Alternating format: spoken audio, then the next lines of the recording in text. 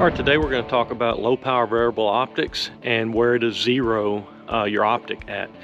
I was running low power variable optics years ago, back before they were really popular. Uh, I ran them um, during entry operations on our SWAT team, as well as in overwatch positions from um, an armored vehicle. And even back then, everyone always debated where you should zero your LPVO. 50 yards or 100 yards. So what we're going to do today is we're going to shoot um, a rifle with LPVO on it with a 100 yard zero and a 50 yard zero. We're going to shoot at 100 yards, 50 yards, 25 yards, and 10 yards and record the uh, point of impacts. I'm going to have the same point of aim the entire time. So you're going to see uh, your bullet drop or bullet rise and then uh, I'll show you the results and you can make your decision on where you need to zero your LPVO. So let's talk about what I'll be shooting today. I've got a Steiner 1 to 4 power. It is the 1 to 4 by 24 military.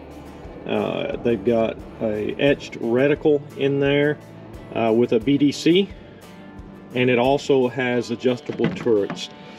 Now there's a lot we can talk about in LPVOs and we can go into the reticles, um, the benefit of having an etched reticle, the pros and cons and everything like that.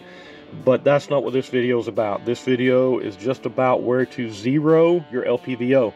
So this is a 11.5 uh, inch SBR with a Gemtech Halo can on it.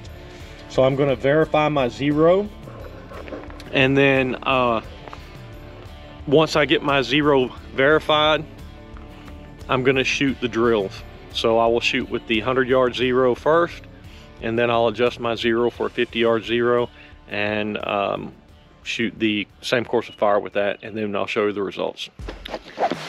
All right, I just confirmed my zero at 100. So let's shoot this, see what we get.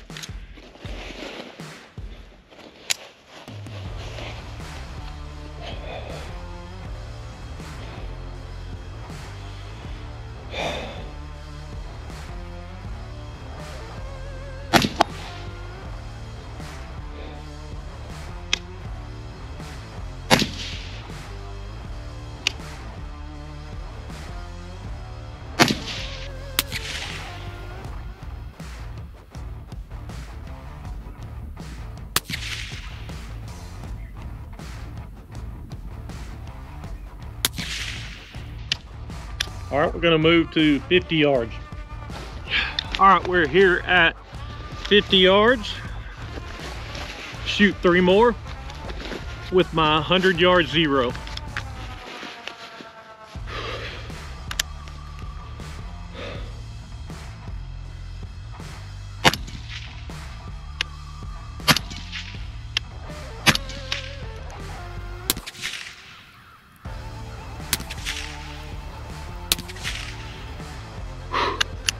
All right, we're gonna move to 25. All right, here we are at 25.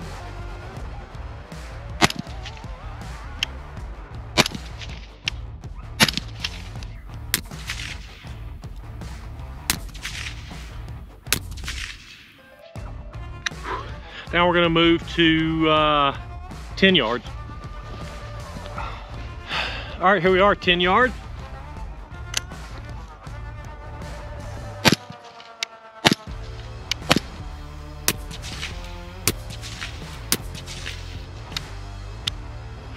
All right, let's go take a look. Here is our target. I think those were my three from the 100. And then this was 50 and that one there. 25 and 10. So as a reference, this is a two and three quarter inch circle. So with a 100 yard zero, if I'm shooting, depending on what I'm shooting at, with a center hold, because my hold was here in the center on at every distance. The bullet drop is not that significant uh, as I'm getting closer. Um, so if I'm shooting a center mass uh, shot, I'm just gonna hold center. If I'm shooting a um, critical shot, I'm gonna have to know this drop here and hold higher in my target to get the round where I want it to go. So I'm gonna take a few minutes, adjust my zero for the um, 50 yard zero, and then I'll confirm my 50 yard zero on a target over here, and then shoot the same thing again. Okay, I've got re-zeroed, got my 50 yard zero on here. I'm gonna shoot the same course, we'll see what happens.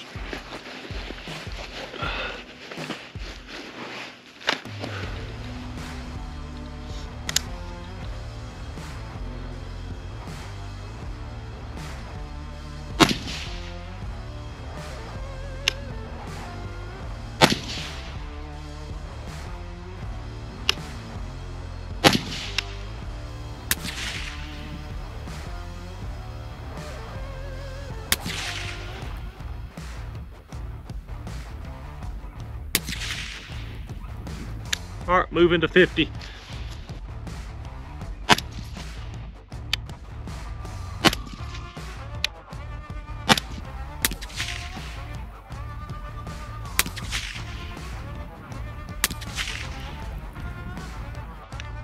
Go to 25.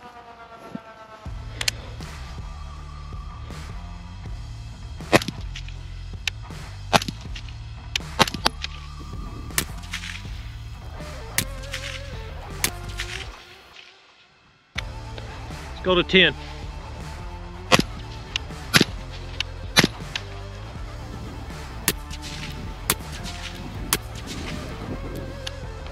All right, let's go take a look. All right, let's take a look at our 50 yard target. So you can see the two targets side by side. Left, 100 yard zero. Right is our 50 yard zero. So this is my 100 yard group. This is the 50 yard group. This is a 25 yard group. And this is the 10 yard group. So let's put a tape measure on it. Our extreme spread is a little over four inches with a 50 yard zero. The 100 yard zero is about two and seven eighths is the extreme spread. So I'm gonna measure this a little more detail and write it down. So hopefully um, this helps you a little bit. Uh, it's kind of clear as mud because it's gonna boil down to personal preference on um, where you want to zero. Me, I prefer 100 yard zero. Uh, my reticle is set up for 100 yard zero and I really don't have a lot more offset that I have to allow for than if I was running irons. Uh, on a 50 yard zero, I've got a whole lot more um, that I have to think about as far as my rise and fall of my bullet. Under stress, intelligence goes down. So what you need to do is find out what works for you. Find out, uh, go out and shoot your weapon system. Keep in mind this is 11 and a half inch gun. A 16 inch gun, you may see something totally different. Uh, also depending on your optic. So I know some of you may have been hoping for a clear answer here, but this is not a clear answer. It's um, operator and equipment preference. So if you haven't done this, go out and shoot your weapon system. Try this um, little test out to give you concrete data on where your impact is going to be at what distance. If you want to learn more about running a LPVO, we have a three-day LE only class, and then we also have a two-day class that's open to anyone, LE or civilian. So be sure and check out our website for upcoming classes and I will probably be putting some more information up, more videos about LPVOs and some other things to take into consideration if you decide to run one.